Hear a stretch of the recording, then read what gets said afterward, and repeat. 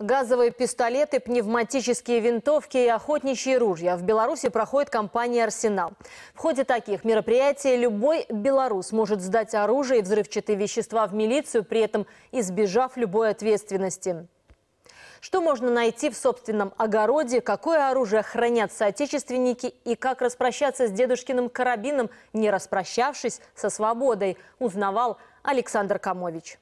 Историю знаменитой трехлинейки минчанин Николай знает не понаслышке. Правда, найдя такой экземпляр в своем огороде, немало удивился. Про ответственность за хранение оружия охотник-любитель также слышал. И, несмотря на проржавевший вид винтовки, все же решил обратиться в милицию. Ехал в Ратомку, купил пару саженцев яблони, приехал на дом, вот, выбрал место. Не знаю, почему это место мне упало. Я к нему подошел, взял лопату, начал копать. Начал упираться во что-то железо. То есть не понял, в камень или во что. Начал дальше копать, выкопал кусок трубы там. Не выкопал, а торчало.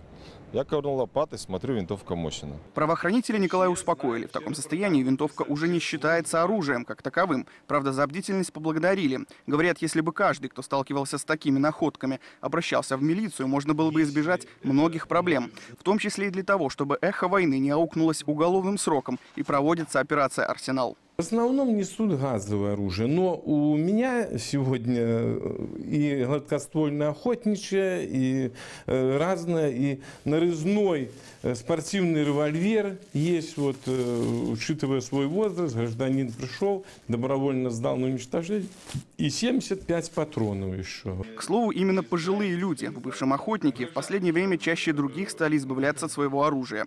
В милиции считают, что такая тенденция сложилась накануне вступления в силу указа президента президента, в котором регулируется разрешение на владение оружием. 26 апреля вступает в силу указ президента, который внес изменения в указ президента номер 200 э, о том, что при продлении разрешения на право хранения и ношения оружия необходимо будет владельцам предоставлять медицинские справки. Вот. Если гражданин э, в возрасте, он может справку просто не получить. Первый день арсенала только в милицию Центрального района граждане сдали десятки образцов оружия. Пневматические газовые пистолеты, охотничьи ружья, патроны. На проверку к столичным милиционерам попало даже страйкбольное оружие. Правоохранители напоминают, что в ходе операции «Арсенал» люди, добровольно сдавшие оружие и боеприпасы, освобождаются от всякой ответственности. Те же, кто не воспользуется такой возможностью, имеют шансы получить вполне реальные сроки, вплоть до 12 лет лишения свободы. Александр Камович, Николай Лашкевич, Зона Х.